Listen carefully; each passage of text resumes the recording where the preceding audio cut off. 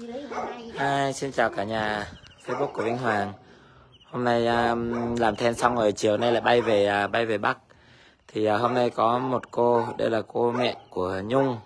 Ngày xưa Nhung là cùng uh, Vĩnh Hoàng đi um, tham gia câu lạc bộ hát then đàn tính sinh viên ở thành phố Hồ Chí Minh. Thì uh, sau cũng chắc là 4 5 năm rồi. 4 5 năm rồi chưa gặp nhau. Và đây là lần đầu, lần đầu tiên đến nhà của Nhung nhà đẹp lắm. Khí hậu thì mát mẻ đây. Lưng thì tựa vào núi xong rồi hướng ra nhìn rất là rộng rãi thoáng mát đây. Đẹp quá.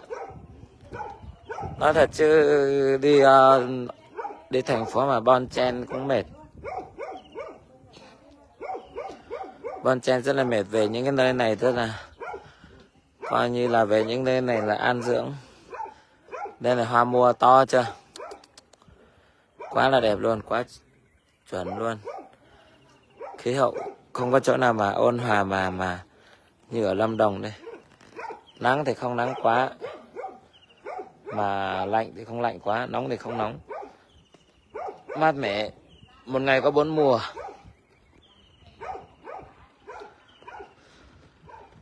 Đây, ngôi nhà mơ ước.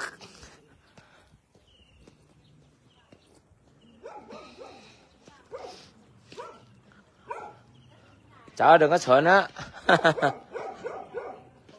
Trồng rau diệp, rau gì đây? Rau mùa nào cũng trồng được ở đây cô nhỉ?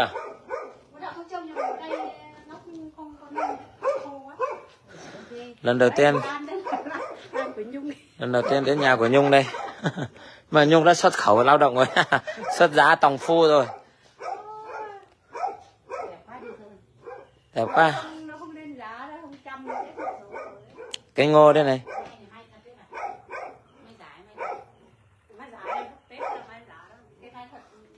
Mai thật ở ngoài kia nở đẹp kia kìa. Hoa mua này, có hoa mua tao đùng đây này.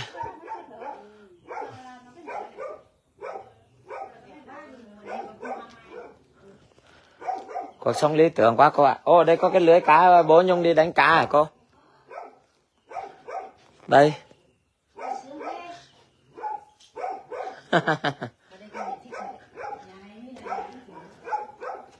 nhà này hướng là còn đẹp đấy chứ. Hướng vừa đẹp vừa thoáng, vừa mát mẻ. Nhà cô là quá chuẩn rồi cô ạ.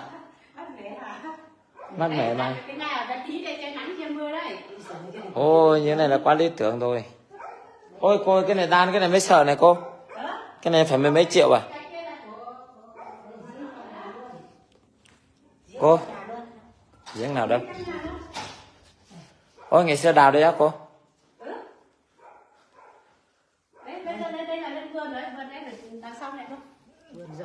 Trời sao nhà nuôi nhiều chó vậy? hai con thôi. Nhà rộng rãi nhưng mà chỉ có hai ông bà khác ở. Ngoài là người ta bắt hết à? Bắt đấy nhà. Ừ.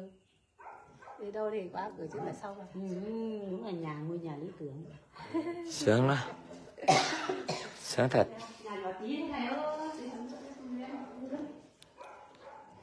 Đây nhà ngôi nhà này là quá sướng rồi quá tuyệt vời. Ông mặt trời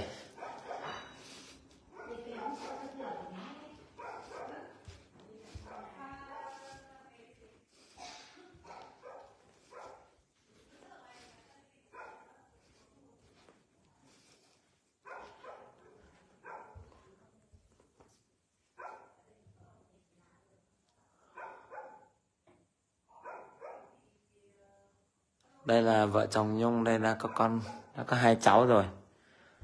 Sau 5 năm mỗi người một khác.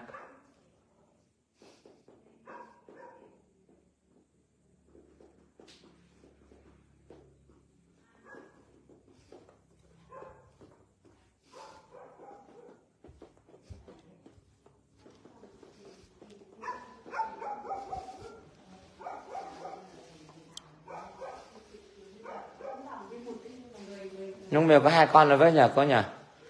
Năm sáu năm không gặp lại nhau rồi đấy. Con đàn con đúng rồi. con đàn cháu đúng rồi.